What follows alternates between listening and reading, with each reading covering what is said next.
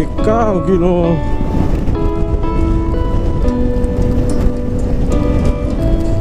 สงสัยภูนั้นมั้งอีกใจเดียวร้อนร้อนร้อนร้อนร้อนจิบเฟล้วฟูกิบฟูแล้วเฟเอ้ยใจจะขาดแล้ว มันใกล้เข้ามาแล้ว 450 เมตร เส้นชัยอยู่ข้างหน้า นี่ไงแลภูนะมันก็มีปูให้แล้วพระอาทิตย์อยู่บนหัว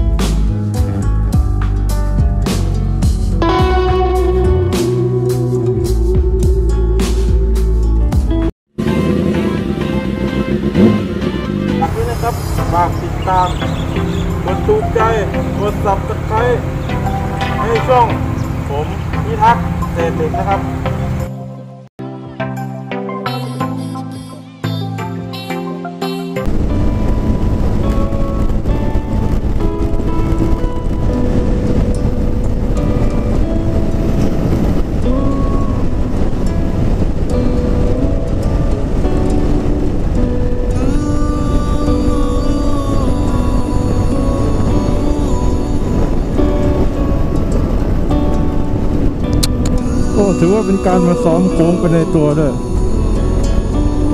อืมโอ้โห สวยงามครับ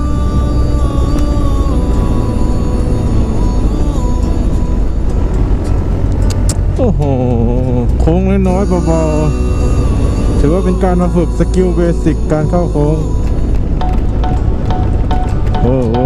โห ขนาดมันยังเบรกอย่างนั้นเลย เกือบแล้วนะเมื่อกี้เราก็เกือบแล้วก็เอาขาลงยันไว้หน่อยเลยอ่านอ่านโค้งไม่ขาด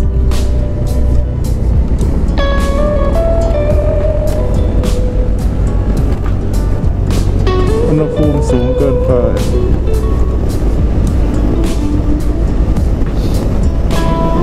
รู้สึกว่าขี่แค่นี้รู้สึกโคตรทรมานเลยมันร้อนไงไม่ใช่อะไรหรอก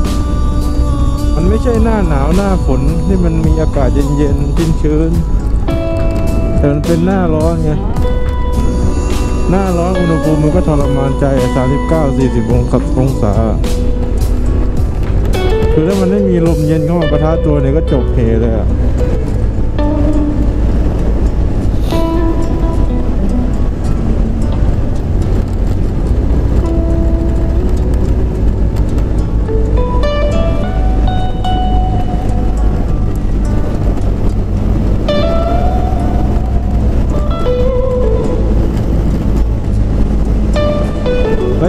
ทั้งหมดก็เกือบ 200 กิโลเมตรแหละ 170 กว่ากว่ากิโล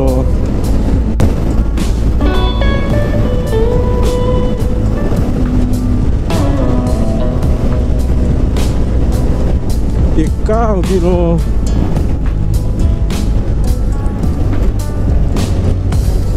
สงสัยภูนั้นมั้ง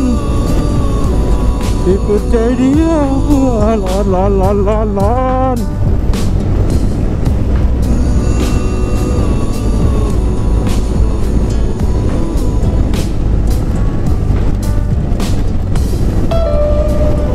อนแหงร้อนแหง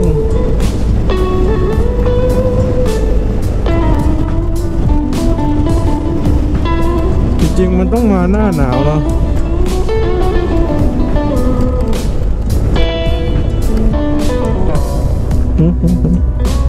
โอ้ GPS เนี่ย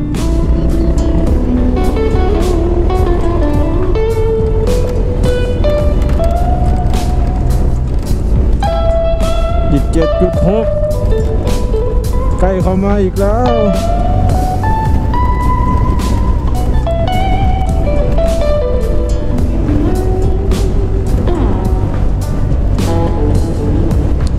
จิบแฟแล้วฟูกิบฟูแล้วแฟเอ้ยจิบแฟแล้วฟูโอ้ยใจจะขาดแล้ว มันร้อน มันร้อน ใจมันเลยจะขาด ขอเปิดชิ้วหมวกรับลมหน่อยนะ โอ้ มีเสียงลมเข้าหน่อยต้องขอไปเหงื่อไหล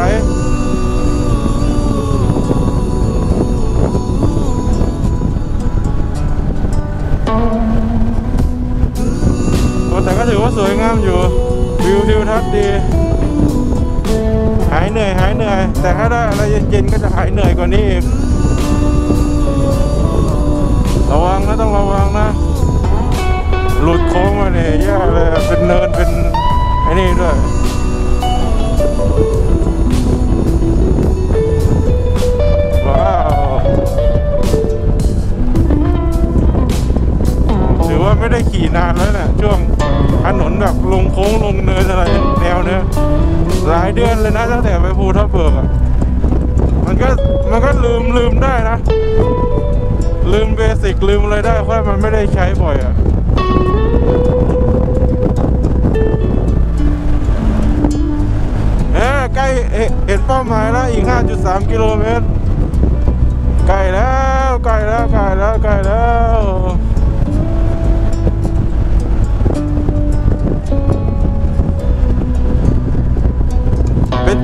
แฟนที่ถือว่าไกลนะ ไกลในรอบรอบปีนี้เลย แฟแก้เดียวเนี่ยใช้เวลาประมาณ 3 ชั่วโมงกับระยะระยะระยะระยะทางเกือบ 200 กิโลเมตร ประมาณ 176 กิโลเมตร บวกลบ 10 ประมาณนี้ปะ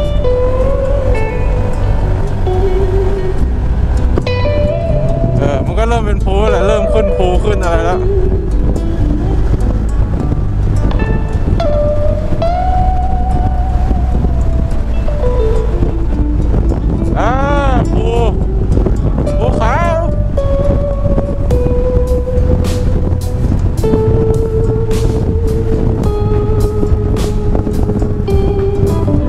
นนอย่างเงี้ยคล้ายถนนไอ้เส้นจากภูคาที่น่านอะ มันมาณว่าอยู่เหมือนอยู่บนสันเขาแล้วก็มีต้นไม้อยู่ข้างๆมันต้องได้ไปอีกน่านอะ มันทำไมมันต้องไปอยากไปจังมันมีอะไรแล้วโอ้โหเป็นโค้งเป็นโค้งเล่นโค้งเล่นโค้งลงเนินโอ้โห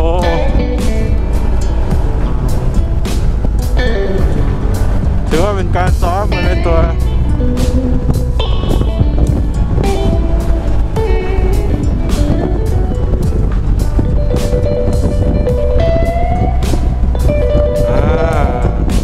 องไปตามโค้งมองไปตามโค้งอ่าเข้าอ่านั่นแหละนั่นแหละต้องมีสติ เวลาเข้าโค้งต้องมีสติ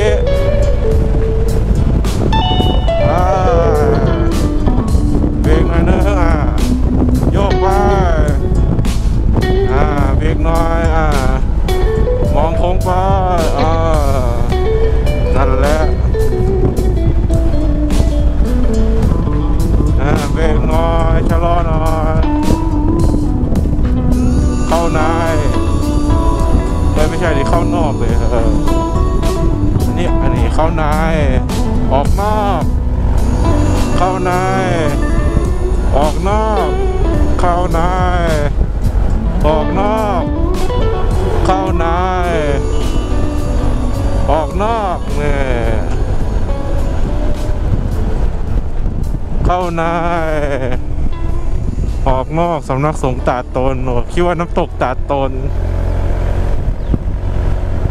มีน้ำตกให้เล่นไหมเนี่ยแถวเนี้ยโอ้ยอยากโดดน้ำอะร้อนฮ้อนฮ้อนฮ้อนใจสิขาดใจสิขาดเป็นยังกันเออไม่ร้องหน่อยเดี๋ยวมันโดนลิขสิทธิ์อ่าเริ่มมีความเย็นเพราะต้นไม้เยอะครับ ป่ายางป่ายาง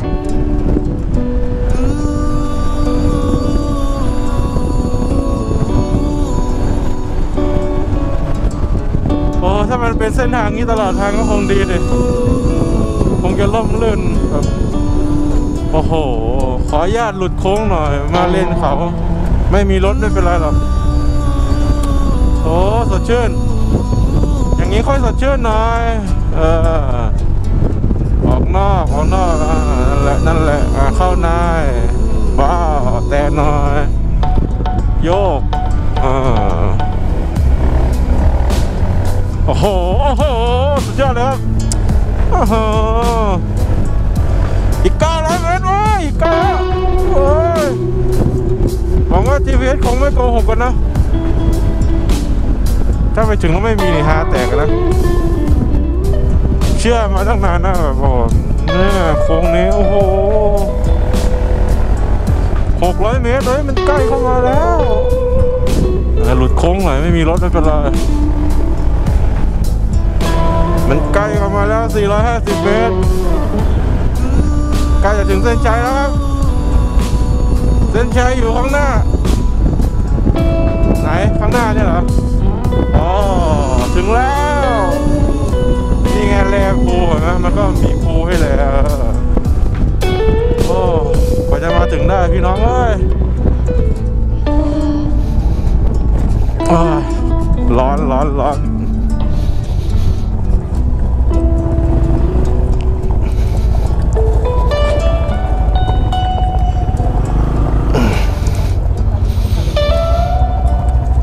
จอดตรงนี้แหละ ใจจะขาดอยู่แล้วถึงแล้วจิบแฟแลภู coffee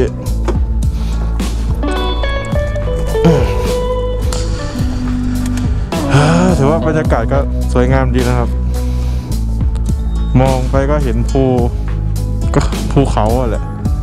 เรียกกันสั้นก็ภู จากกาฬสินธุ์ก็เดินทางมาประมาณ 5 โมง นี่ก็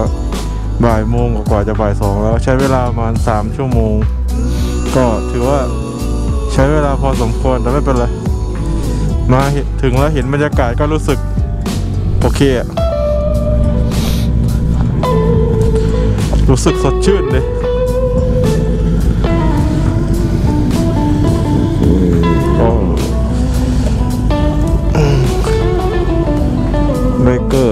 ไบเกอร์อุดร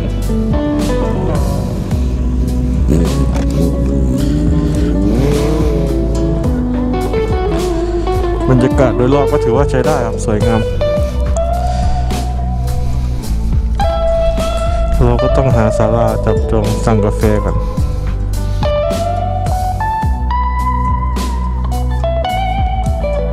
ถือว่าแสงเยอะมากเลยพระอาทิตย์อยู่บนหัวเลยอะ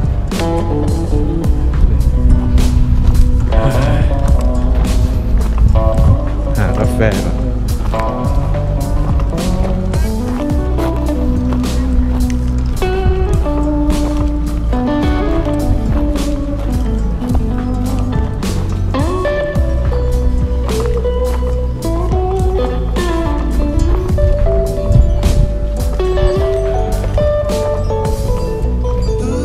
พอเดินเข้ามาก็มีร่มเลยก็เป็นบรรยากาศ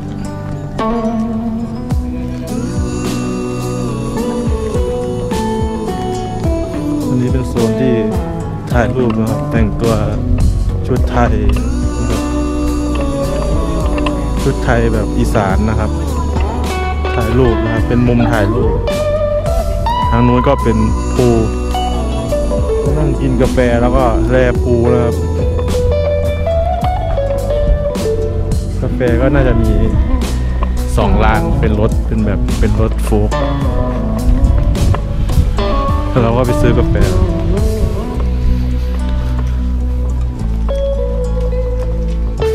ปล่าเย็นๆ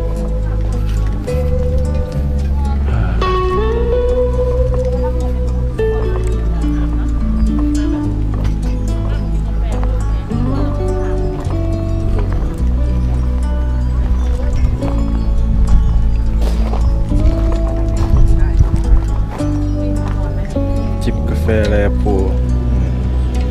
ก็มีกาแฟนายุงสด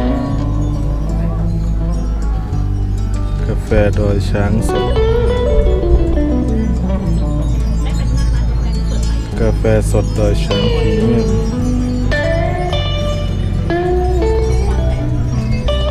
เอากาแฟน่อยครับอ๋อร้านเดียวกันใช่ไหมครับ โอเคครับ ร้านเดียวกัน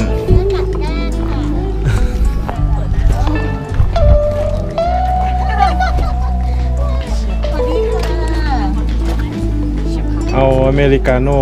เย็นไม่ใส่น้ำตาลครับ แล้วก็น้ำเปล่าเย็นขวดหนึ่งครับ ขอน้ำเปล่าก่อนละครับอ่าน้ำเปล่าเดี๋ยวเอาเอากับคุณนางก่อนแล้วกันอ๋ค่ะอน้ำเปคล่ารับ น้ำเปล่าอ่าฝั่งนี้มันยังไม่เย็นยังไม่เย็นใช่ไหมครับ ได้นะอ่าฝั่งนี้มันยังไม่เย็นยังไม่เย็นใช่ไหมครับ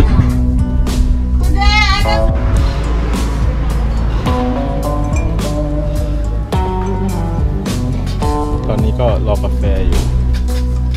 น้ำเปล่าก็ขวดหนึ่งก็หมดไปละแป๊บเดียว ร้อนมาก ก็หายน้ำ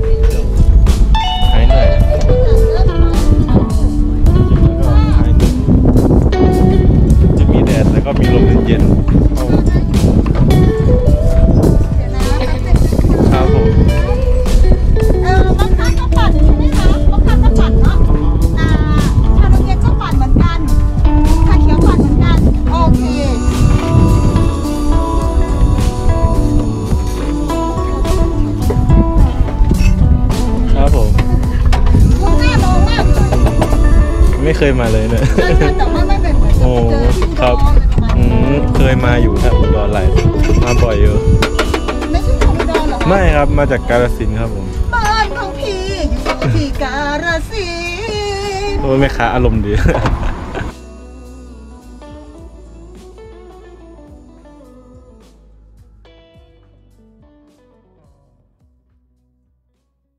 โอ้ก็แป๊บเดียวครับไปเรื่อย ไม่ได้ไกล คือถนนมันดีอะเนาะครับ เนาะกี่ชั่วโมงถึงไหมก็ถ้าไม่รีบก็ประมาณเกือบสามชั่วโมงครับ แล้วก็ได้กาแฟแล้ว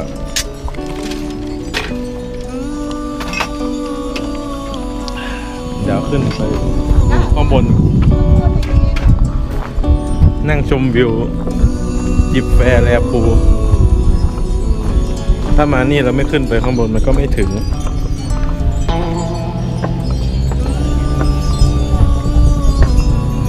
เป็นของเก่า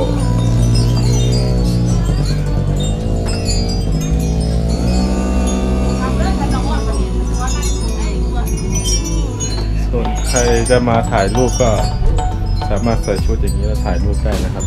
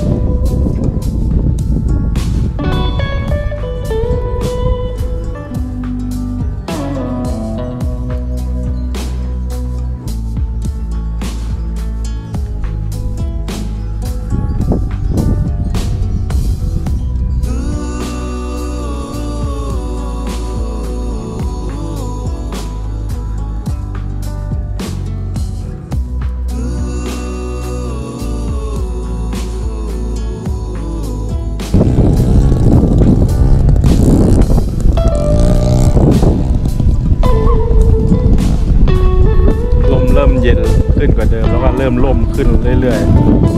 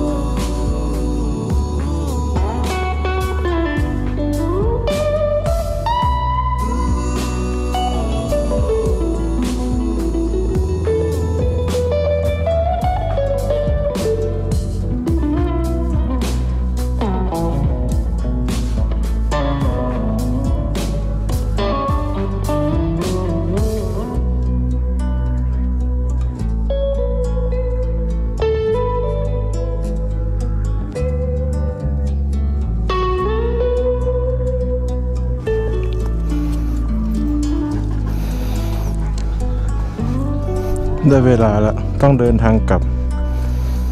งานเลี้ยงเลิกลาจำลาแล้ว ไปตามเส้นทางทางของตัวเอง พี่เจ้าของบอกว่าต้องอยู่ถึงประมาณสักหกโมงเย็นมันจะสวยมากเลย จะได้บรรยากาศที่สวย แต่ว่าเราก็อยากได้อยากอยู่ถ่ายภาพอยู่แต่ว่า ด้วยเรื่องของเวลาเราต้องเดินทางกลับกาลสินอีก ก็ใช้เวลาประมาณร่วม 3 ชั่วโมงขั้นต่ำ เอาไว้สุดประมาณ 2 ชั่วโมงครึ่งถ้าไม่จอดไม่อะไรเลยแต่เอาแบบชิวๆ3ชั่วโมงถึง 3 ชั่วโมงครึ่ง ก็ต้องเผื่อจอดเผื่ออะไรอีก ก็ต้องไปละ เพราะว่าถ้าไปตอนนี้ประมาณ5โมง6โมงทุ่มหนึ่งประมาณ2ทุ่มกว่าๆตีไป2ทุ่มครึ่ง เพราะว่าช่วงนี้ก็เคอร์ฟิวด้วย เราต้องกลับให้ถึงก่อนสี่ทุ่มแต่มันก็ถึงก่อนสี่ทุ่มอยู่แล้วแหละ สวยครับบรรยากาศดี เดี๋ยวมีโอกาสก็ครั้งหน้าจะมาใหม่ก็ จะมาแบบพักแรม camping ที่นี่เลย เพราะว่าพี่แกก็ชอบนะครับ ชอบให้แบบเออมีคนมาเที่ยวมาพักมาอะไรอย่างเงี้ยต่อไปก็จะมีโฮมสเตย์อยู่เขาทำไว้อยู่ แต่ตอนนี้เห็นว่ายังไม่เสร็จแล้ว ยังไม่เสร็จสมบูรณ์เท่าไหร่ ก็ตอนเย็นคนก็เริ่มมาเยอะครับ แต่เราอยู่ไกลเราก็ต้องเดินทางก่อน ถ้ากลับประมาณ6กโมงกว่าๆมันจะไปถึงเกือบโอ้เกือบสี่ทุ่มมันก็ไม่ดีขับรถกลางคืนก็ไม่ดี ไปแล้วครับบ๊ายบาย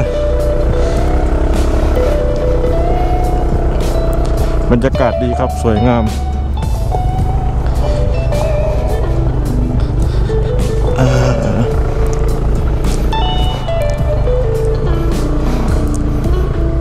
สวยมากเลย เสียได้เหมือนกัน แต่เราก็ต้องไปละดูเลยครับ เก็บบรรยากาศนี้ไว้ในความทรงจำแล้วเราจะมาใหม่อีกครั้งบายบาย